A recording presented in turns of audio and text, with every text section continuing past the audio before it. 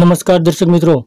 ગુજરાતની અંદર કોંગ્રેસ અને ભારતીય જનતા પાર્ટીના કાર્યકરો વચ્ચે પથ્થરમારાની ઘટના બની તેને અનુસંધાને રાહુલ ગાંધી ગુજરાતમાં આવી પહોંચ્યા છે ત્યારે રાહુલ ગાંધી સ્ટેજ ઉપર પહોંચે તે પહેલા બનાસકાઠાના સાંસદ ગેનીબેન ઠાકોરે તેજાબી ભાષણ કર્યું હતું અને કહ્યું હતું કે ગુજરાતની જેલો ટૂકી પડવી જોઈએ ગુજરાતની જેલો પૂરેપૂરી ભરાઈ જાવી જોઈએ કારણ કે આપણે ગાંધી ચિંધ્યા માર્ગે ચાલવાવાળા છીએ સત્ય અને અહિંસાના માર્ગે ચાલવાવાળા છીએ તો હાલમાં કોંગ્રેસના કાર્યકરો ઉપર ભારતીય જનતા પાર્ટીના કાર્યકરોને કાર્યકરો દ્વારા જે દબાવવાની પ્રક્રિયા ચાલુ રહી છે તેને લઈને હાલમાં આપણે સૌએ શહીદ ભગતસિંહ બનવું હોય કે ઝાંસીની રાણી બનવું હોય તો આપણે સૌએ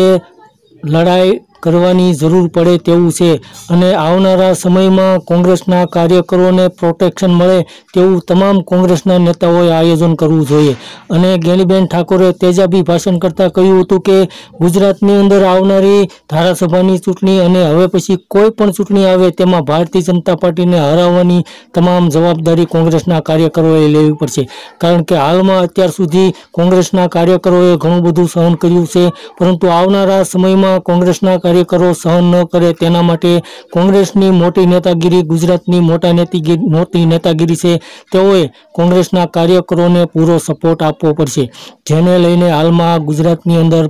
રાજકારણમાં પણ ગરમાવો આવી ગયો હતો ધન્યવાદ દર્શક મિત્રો